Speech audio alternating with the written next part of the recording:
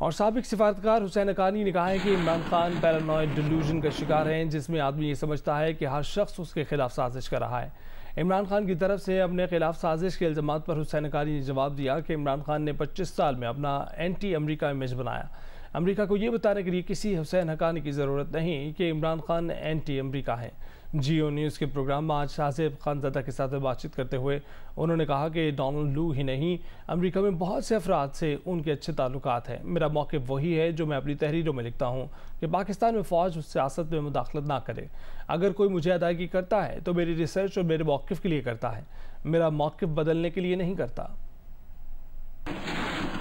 माहरीन नफ्सियात कहते हैं कि एक मर्ज होता है जिसको कहा जाता है पैरानॉइड डिल्यूजन उसमें आदमी बहुत तस्वराती बातें देखता रहता है। अभी तक उन्होंने कोई सबूत नहीं दिया इस बात का कि मेरा जनरल बाजवा से कोई ताल्लुक था। शाहजेब, देखिए, मेरा कोई 20-22 साल से ये मौकफ है कि पाकिस्तान की मुसल्ह अफवाज को सियासत में घसीटने से फौज को भी नुकसान होता है, सियासत को भी नुकसान होता है और मुल्क को भी नुकसान होता है। मैंने इस मौजू पर किताबें लिखी हैं। मैंने इस मौजू पर दुनिया भर में तकरीरें की हैं और उसी की वजह से दुनिया में मेरी जो थोड़ी बहुत इज़्ज़त है वो इसी वजह से है। इमरान खान और उनके साथी उस मौकफ की वजह से मुझे गद्दार तक कहते रहे हैं। अब उनकी तरफ़ से ये कहना कि उसी फौज जिसकी सियासत में कोई किरदार अदा करने पर मैं तनकीद करता रहा हूँ, मैं उनके साथ मिल गया हूँ, या उनके साथ मिलकर मैंने इनकी हुकूमत का तख्ता उलट दिया, ये बिल्कुल ही एक अहमकाना बात है। तो इमरान खान साहब असल में जो गुजश्ता रात की अपनी तकरीर होती है, वो आज सुबह भूल जाते हैं।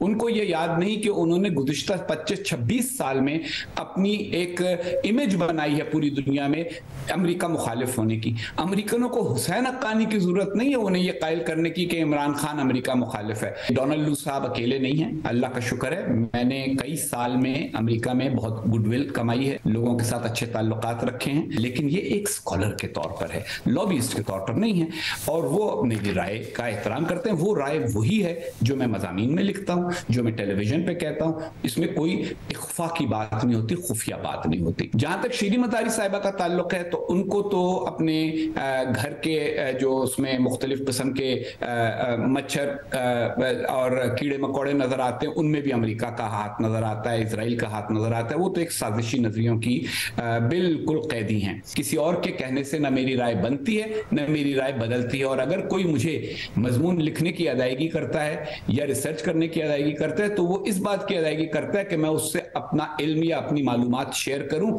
इस बात के लिए नहीं करता कि मैं अपना इल्म या अपनी मालूम या अपनी राय बदल लूँ।